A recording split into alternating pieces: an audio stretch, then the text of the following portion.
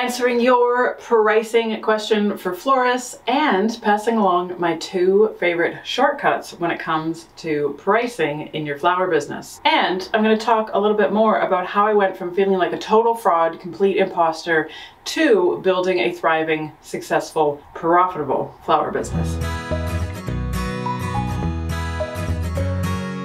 Before we jump into all the goodness today, I would love for you guys to throw into the comments section below, chuck in your favorite money emoji.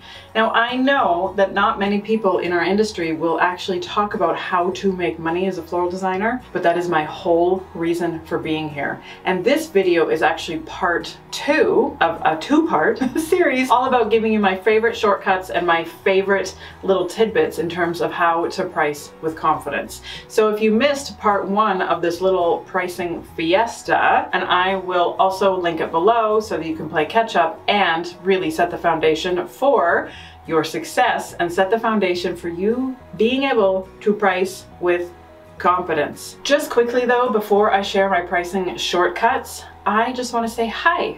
my name's Kathleen.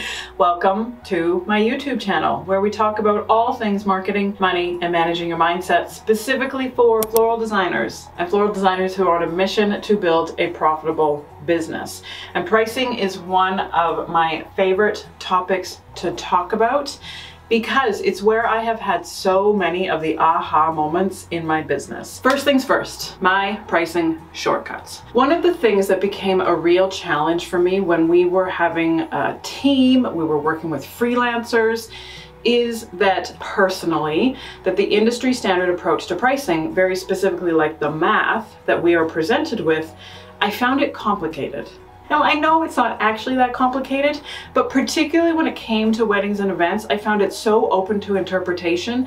And when you feel like a total imposter and a complete fraud, of course you're gonna choose the lowest number in the equation. I was like, no, I cannot allow my doubt and my uncertainty in my own ability to impact the profitability of my business. This is when I actually started to learn and pay attention, get the kind of inside scoop in terms of how other florists price.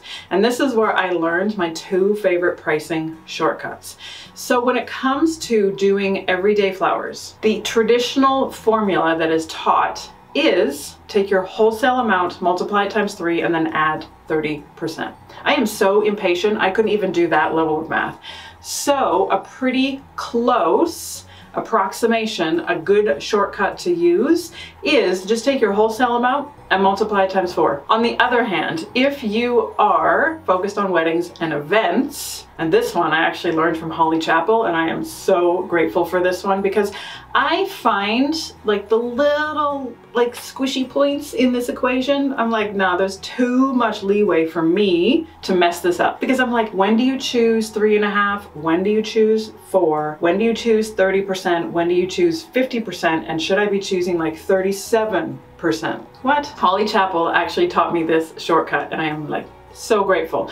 Now, instead of going wholesale times three and a half to four plus 30 to 50%, all you need to do is go wholesale times five, or if you're doing a design that requires even more premium product or more expertise, go wholesale times six. It's such a better shortcut. Like there is just no room for self-doubt in here even if you let your self-doubt lead with wholesale times five, most of the time you can kind of get away with it. But then you can build with confidence to be like, yes, this is a specialist design. This requires even more expertise. So I'm going to price wholesale times six. The other thing that I'm just going to throw in here is don't assume that these pricing models are the upper limit. Nobody's walking around telling you that you can't charge even more than that. The industry standard approach to pricing is just the beginning. So, my friends, if you are walking around with years of expertise and you know that you have the capacity to be charging even more, do it. In so many other industries, they are charging wholesale product times six, wholesale product times 10, and God knows how much even more than that. So the industry standard approach to pricing can just be the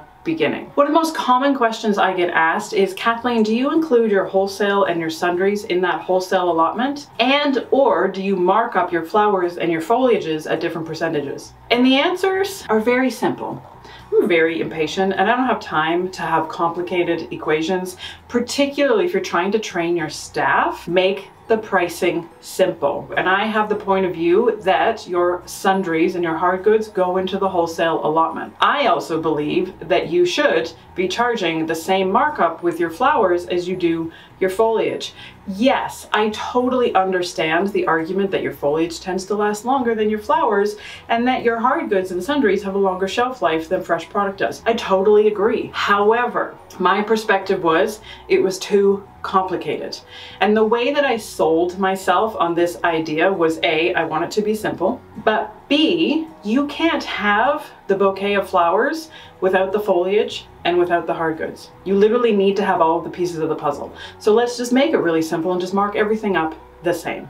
Now, if you have a pricing formula that you like and you're making money, you've got profit and everything's running tickety boo, I don't know why you're watching this video. But for the rest of us who are walking around feeling like total imposters and frauds, we tend to want to overcomplicate the pricing because the more complicated the pricing can be, the more time we'll spend like moving all the numbers around and massaging things and then we won't go out there and give the client the quote and just deal with the discomfort of being told that they found somebody cheaper. Please, please, please do your future self a favor and just give yourself permission that pricing can be super simple. And yes, everything just goes into the allotment called wholesale. Next question. Kathleen, what do you do with hire items? What amount do you tend to charge them out at? The rule that I was taught, which I find super helpful, is if you are hiring out items that are fairly standard, like fairly replaceable, I was taught that you charge them out at one third of the retail price. And the goal being that by the time you hire them out three times, you've paid off the retail price and then you start making just pure profit off of it. The two other things to keep in mind is that if you're hiring out more interesting, more hard to find items and the replacement value is higher, don't be afraid to charge a premium. The other thing to remember, and this was one thing that I just did not pay attention to for a really long time, but don't forget to also charge labor to help you actually clean the containers in terms of actually prepping everything. Like if you're using candles and you need to clean them, we all know that that's a complete nightmare job. But just making sure that when you're providing your quote or when you're sorting through the actual hours and costs in terms of making these jobs happen, that you account for that. So that the next time you go to do a job and you need those candles, that they're actually cleaned and you're not totally resentful and having to do it the night before. And the last question that I get asked all the time is, hey, Kathleen, how much should I be charging out for my hourly rate? Now this one often surprises people. So back in my corporate days, the general rule that we used to follow, what I was taught when I was pretty young, was you take somebody's salary and you multiply it by two and a half times three, and that becomes their hourly rate. So if the going rate for a florist is $40 an hour. When it comes to you providing a quote to your customer in terms of an hourly rate, you will want to be charging out your hourly rate or a freelancer that you're paying $40 an hour to, you're going to want to be charging them out at 100 to $120 an hour. Now, most florists scream when I suggest that, but that's okay. It works and it works really, really well. It's actually a fairly traditional markup model that's used in lots of different industries, and I know it's not something that's talked about in floristry very much because we are all very scarcity driven in this industry. However, if you know that the going rate for a florist in your area is $40 an hour, then the amount that you're going to be charging out per hour on a quote is 100 to $120 per hour. Now, when you're putting quotes together for your clients, and this is one of the things that does take time, so be patient with yourself. If you're putting your first quote together, one of the best exercises to do is just take a best guess. Like literally sit down, grab a pen and a piece of paper, and just think through how the day might run. And think through how many hours or how much time you might need to pack the van, unpack the van, set up at the reception, set up for the ceremony, clean everything up, come back and do the strike or the bump out later that night or the next day whatever the rules are. Now, I know everybody wants a quick fix in terms of like, tell me exactly how much to charge on a quote, but it totally depends on the job. And it's exactly like if you were talking to a tradie or a contractor, they're gonna be like, how long is a piece of string? So the same thing applies in floristry.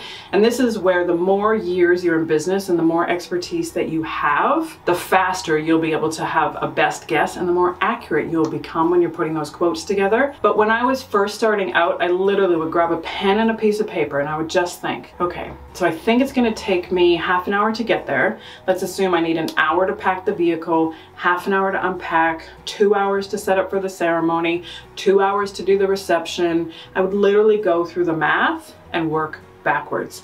And then you would charge that hourly rate per hour per florist. Now, if you're in Australia or you want to adopt some of the amazing labor rules in Australia, and I highly recommend it, we are required by law to pay people a premium rate after hours, on weekends, and on Sundays and public holidays. So your hourly rate might vary, and definitely you get to charge a premium if you're doing a strike at 11 o'clock at night. So yeah, there is a lot of math involved, but when it comes to just marking up somebody standard, if you're paying them $40 an hour, you're gonna be charging out between 100 and $120 an hour. The number one thing that I want you to take away from this training is I want you to give yourself permission that pricing can be simple.